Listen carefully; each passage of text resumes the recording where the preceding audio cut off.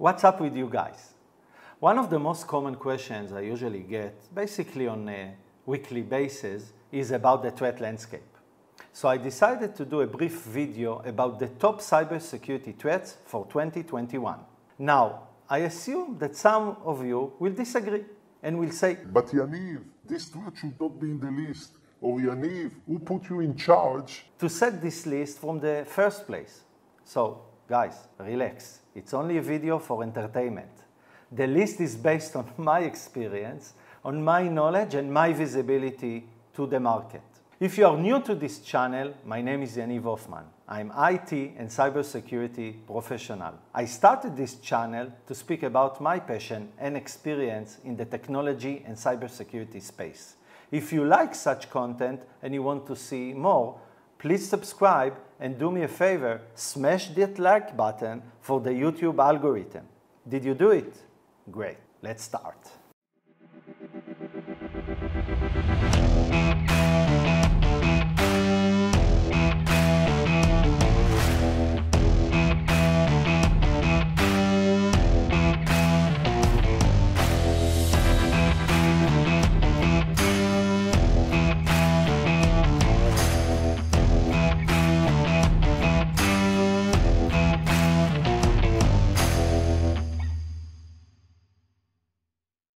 So here are my top 10 cybersecurity threats for 2021. Number one, ransomware. So what is ransomware?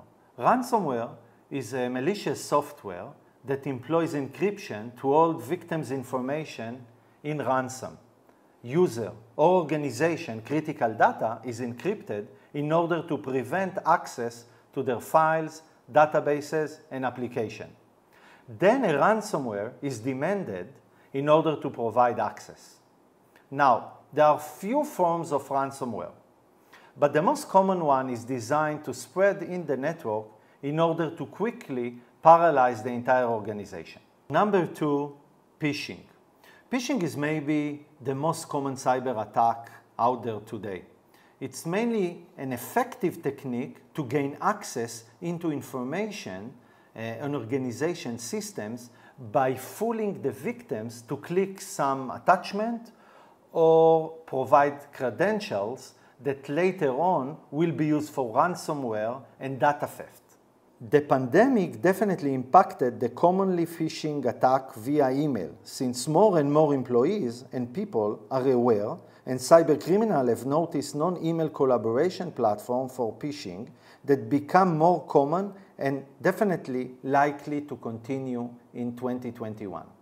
Number three, DDoS attacks. So DDoS are distributed denial of service uh, attacks. Like ransomware, they are not new, but lately they are increasing, not only in terms of volume, but also frequency and complexity. The main goal of DDoS attacks is to impact the availability and the business continuity of organization.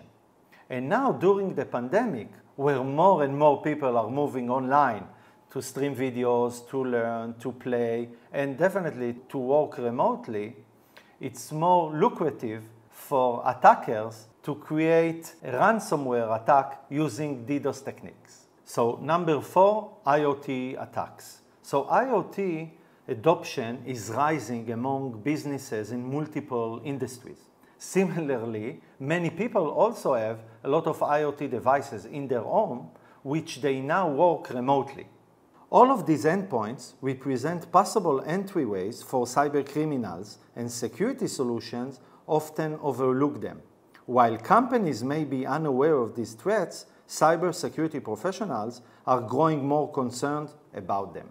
Keeping IoT devices on a separate network from other company systems can help to mitigate these threats. Number five, insider threats. So definitely this is a less publicly known threat that affects uh, organizations at any size.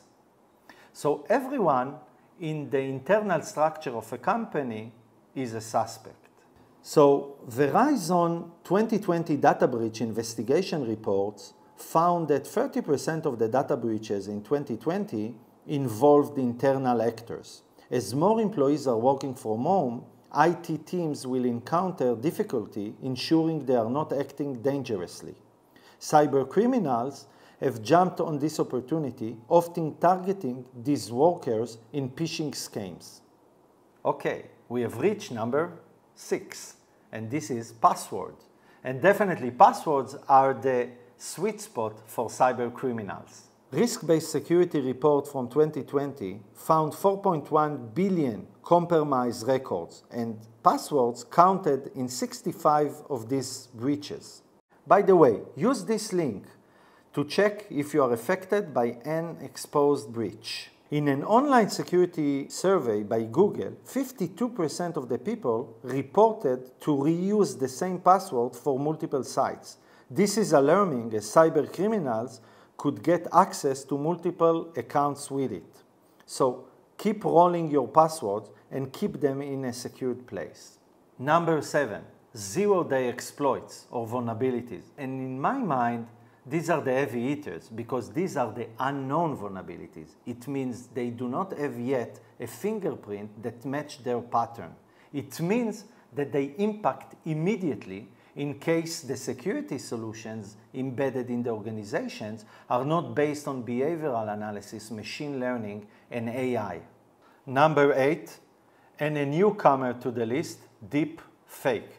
And deep fake is produced by artificial intelligence that takes video, photo, and voice recording and manipulates someone's image or voice to falsify their actions or speech.